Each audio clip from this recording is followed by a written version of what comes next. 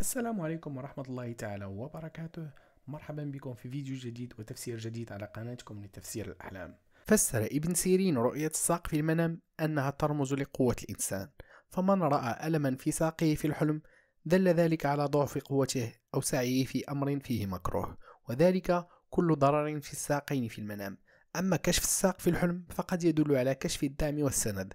وكشف الساق في المنام للمرأة لا خير فيه إن كان أمام رجل. فيما الساق القوية في المنام عموما دليل على خير للرأي والساق الجميلة في الحلم تدل على حسن ما يسوق الرأي وما يساق إليه والساق الصلبة القوية تدل على طول في العمر وسعة في الرزق كما يذكر الشيخ النابلسي.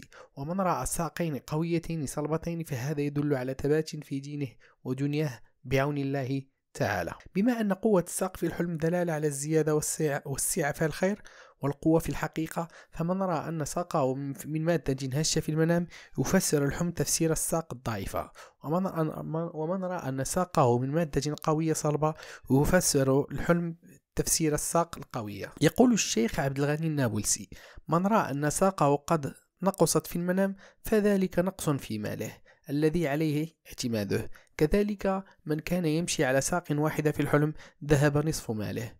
وقد يفسر حلم الساق المبتورة في المنام على النقص في العز أو في العمر. فيما يقول نابلسي أن من شعر الساق الكثير في المنام لا خير فيه. إذ, يدل, شعر الساق السميك في الرؤيا على كثرة الديون وقد يدل على السجن والمكوت فيه طويلا. طول الساق في المنام يدل على وصول الراعي إلى مروضه وثباته في سعيه.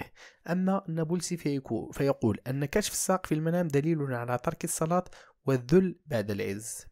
أما من رأى ساقه تؤلمه في المنام فإنه يخاف على دينه من الفتنة والله أعلم. هكذا نكون قد وصلنا إلى نهاية تفسير اليوم. إلى اللقاء في فيديو جديد وتفسير جديد على قناتكم لتفسير الأحلام.